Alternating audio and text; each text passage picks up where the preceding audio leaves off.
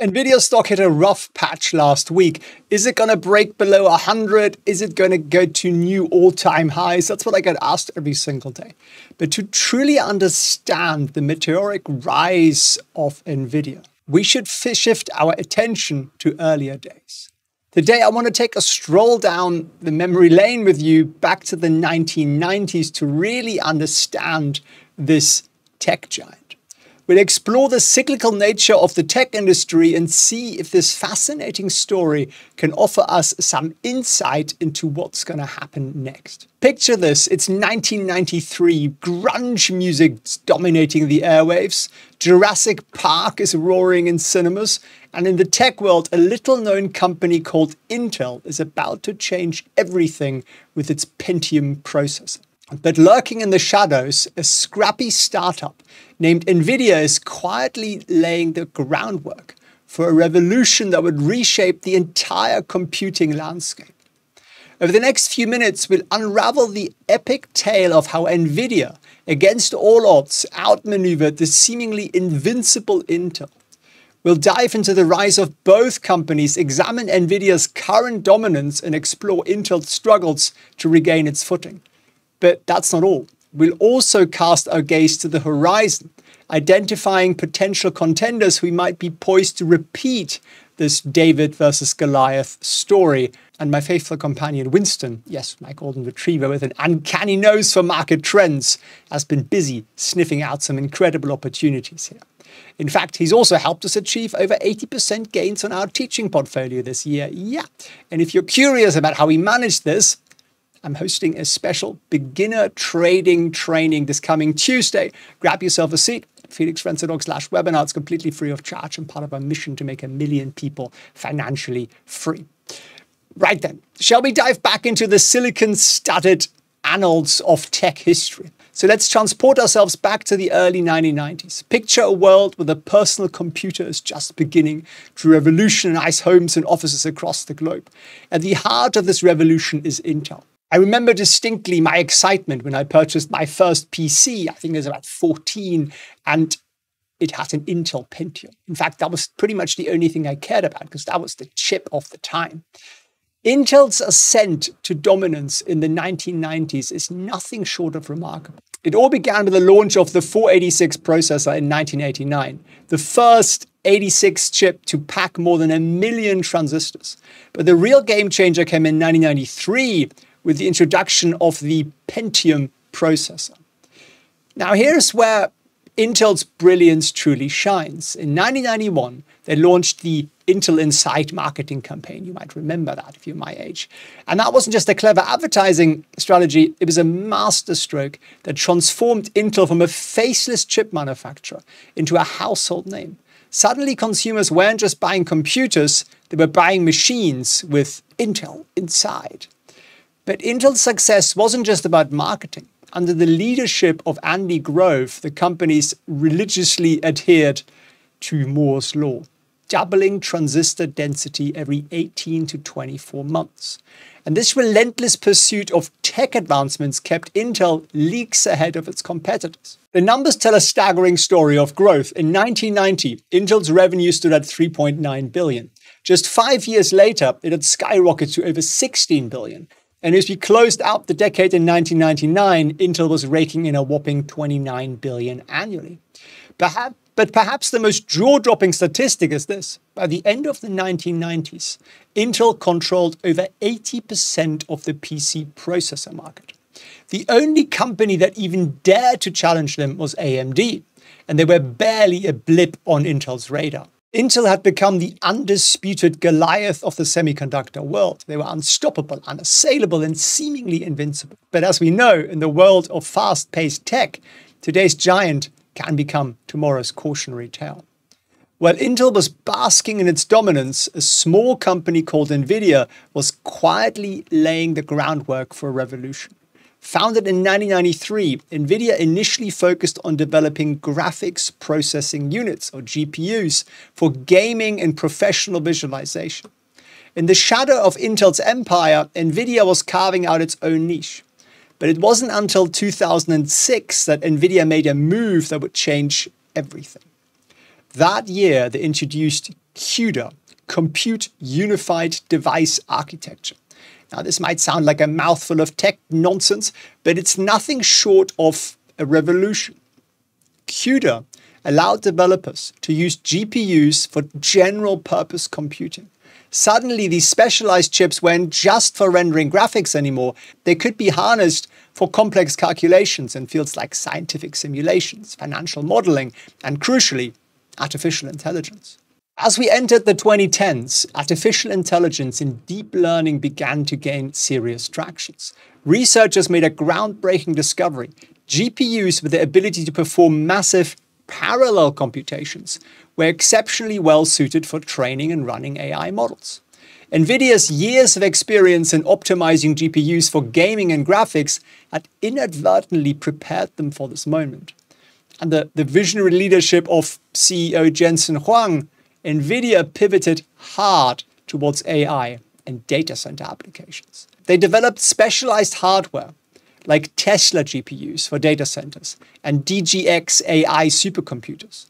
On the software side, they created the CUDA X AI suite, providing developers with powerful tools to leverage GPU acceleration for AI workloads. The results, nothing short of spectacular.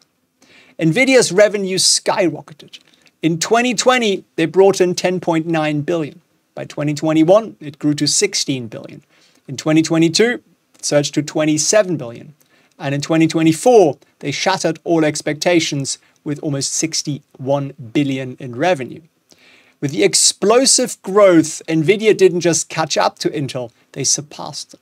The GPU maker that once lived in Intel's shadow had emerged as the new titan of the semiconductor industry. But NVIDIA's rise wasn't just about being in the right place at the right time. It was about recognizing a seismic shift in computing and positioning themselves at the forefront of that change. They saw the potential of AI before most others, and they executed their vision with laser like focus. All right, let's fast forward to today and examine NVIDIA's current position in the tech landscape. It's a tale that would make Winston wag his tail with excitement. As of 2024, NVIDIA's dominance in the AI chip market is nothing short of staggering. They command an estimated 70 to 95% market share, pretty much the same thing that Intel had for the PC world in the 90s. Let that sink in for a moment. In the rapidly evolving world of AI, NVIDIA isn't just one of the players, they're basically the entire game. Their data center revenue, primarily driven by AI chips, has seen exponential growth. NVIDIA's GPUs, particularly the H100 and the newer H200, are considered the gold standard for AI training. It's not just about raw power, though. NVIDIA has built a robust software ecosystem around their hardware, including CUDA and CUDNN and TensorRT. And these software systems make it easier for developers to leverage GPU acceleration. So they can, they're creating a virtuous cycle of adoption and innovation. But NVIDIA isn't content with just dominating the AI chip market. They forged strategic partnerships with leading cloud providers, AI research institutions, and enterprises. Microsoft's Azure AI supercomputers, powered by NVIDIA GPUs. Amazon Web Services, they offer NVIDIA GPU instances. Major AI research labs and universities, they're all clamoring for NVIDIA's tech. The financial markets have taken notice of NVIDIA's stellar performance. In March 2024, Nvidia's market cap exceeded 2 trillion, surpassing both Google and Amazon. Their PE ratio reflects the sky high expectations investors now have for Nvidia's future growth. It's worth noting that Nvidia's success isn't just about tech, it's about vision. CEO Jensen Huang's strategic pivot towards AI and data centers has paid off handsomely. Under his leadership, Nvidia has transformed from a company known primarily for gaming graphics cards to the driving force behind the AI revolution. However, as any seasoned investor knows, today's market leader can become tomorrow's. Whoops. The tech industry is fickle, and maintaining a dominant position is no easy feat. Nvidia faces challenges both from established players and upstarts, all vying for a piece of the lucrative AI chip market.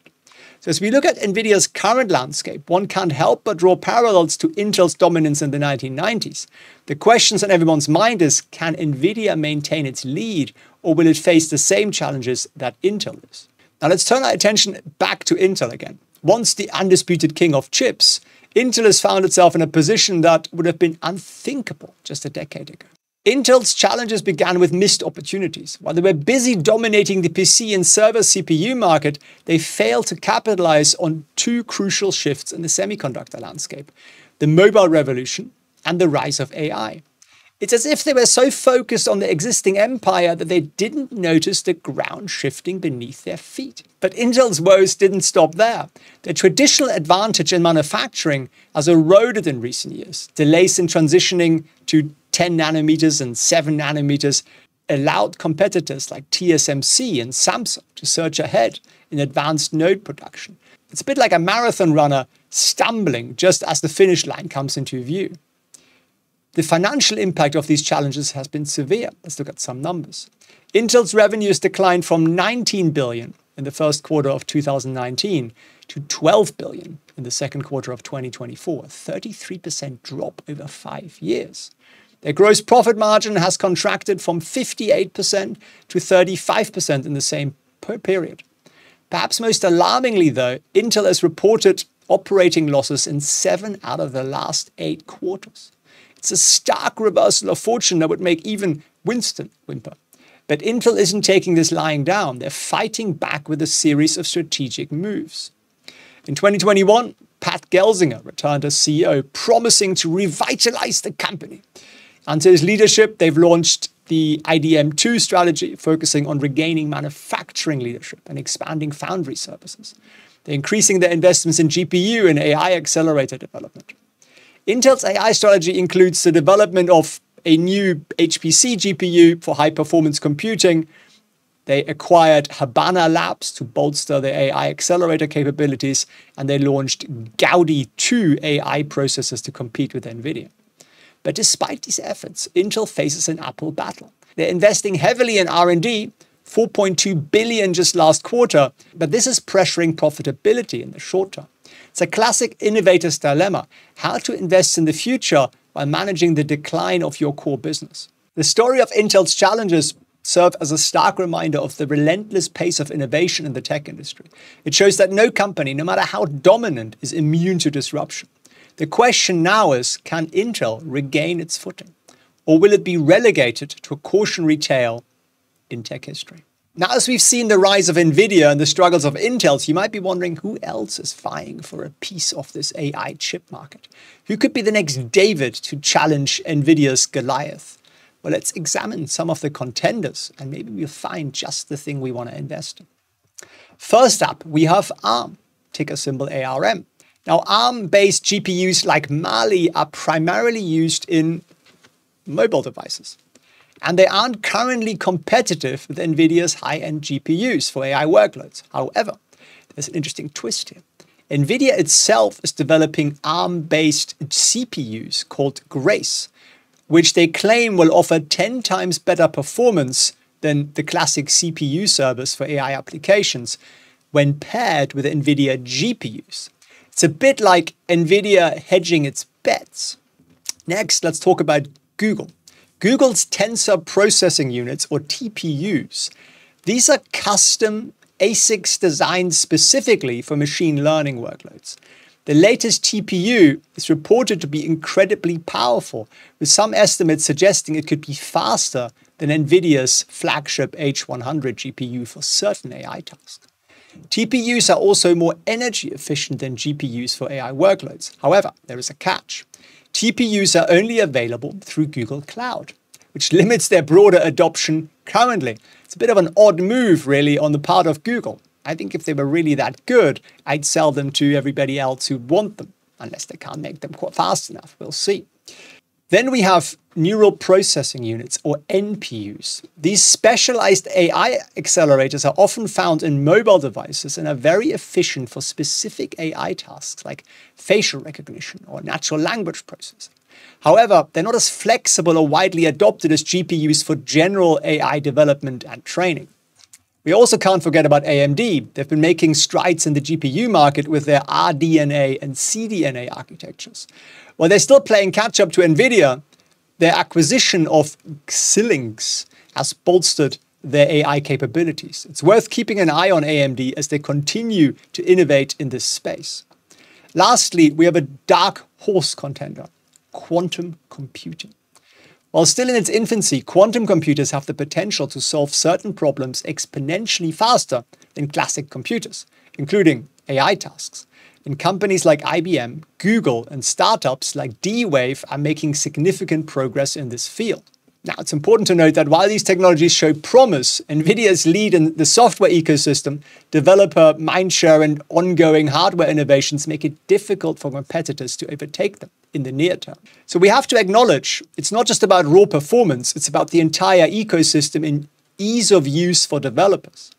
The AI hardware landscape is evolving rapidly, with companies large and small working to close the gap with NVIDIA. While NVIDIA currently holds a commanding lead, the history of tech has shown that today's leader can be tomorrow's laggard. The question is, who will make the breakthrough that reshapes the industry once again? As we've journeyed through the silicon studded landscape of the semiconductor industry from Intel's dominance in the 90s to NVIDIA's current reign, one thing becomes abundantly clear. The only constant in this field is change. The story of NVIDIA's rise and Intel's relative decline in the AI chip market is a classic tale of disruption. It shows us how a smaller, more agile company can recognize an emerging opportunity and pivot their entire business to capitalize on it. Meanwhile, even industry giants can struggle when faced with rapid tech shifts and internal challenges. Key factors in NVIDIA's success have been their early recognition of AI's potential, their tech leadership in GPU design, which was kind of random because it was actually just built for graphics, a strong software ecosystem, and a visionary leader. On the flip side, Intel's over reliance on their traditional CPU market Manufacturing delays and slow response to the AI revolution have led to their current struggles. But let's not forget, the semiconductor industry remains highly dynamic. New challenges are emerging and established players are adapting. For us investors, it's crucial to stay informed about these industry shifts. They can present risks and opportunities. And I think there are probably three ways to play this. One, you could say, I can't be bothered to dig into all of it. I'm going to buy an ETF of semiconductors, and SOX is probably the one that's the biggest one out there, SOX. Uh, or you could pick a winner if you believe you've got a significant technical understanding of why maybe NVIDIA or ARM uh, is so far ahead, nobody can catch up. Um, or you can try and find the underdog the AMD or something like that and say, no, no, they're undervalued, they're going to come back and they're going to do it cheaper. And a lot of this is going to come down to energy usage. So it won't be just performance, but it'll be performance per amount of energy used because it'll become incredibly expensive to run these data centers otherwise. And the third option is to go, I don't need to invest in the latest thing. and that's also a fair thing to do. Um, I know a lot of very successful investors who completely avoid tech because they say, keeps changing, don't understand it. I do understand Coca-Cola uh, or, uh, you know, something really boring like uh, Costco, right, which is done incredibly well. So there isn't a right or a wrong here. I just want you to be aware of the risks and the shifts. And I want you to therefore commit to doing that research if you are investing in these individual stocks. Because if you're not, you're going to get woken up one day and you'll be like, whoops, what the heck happened to my favorite stock? And um, another way to play this, of course, is to learn a bit more about how to spot opportunities from a more technical point of view, like essentially becoming a bit of a trader. And that could be short term or long term or medium term. There are different ways of doing that. And if you want to learn how we do that, and that's why we're up 80% so far this year in our teaching portfolio, then come and join our free beginner trading training next week at felixfriends.org slash webinar for about an hour and a half or so. I'll show you what we do and how we do it. We'll do some real trades together and you can ask me all the difficult questions you've always wanted to ask me. Links down below at felixfriends.org slash webinar. And I thank you for tuning in. If you enjoyed this video, um, and it's a bit more of a bit of a more of a tale rather than sort of numbers, uh, then let me know in the comments down below and maybe share it with a friend. All the best. September looms large on Wall Street if historical patterns hold true and the beginning of the month was an indicator of that, we could be facing a challenging month ahead. But even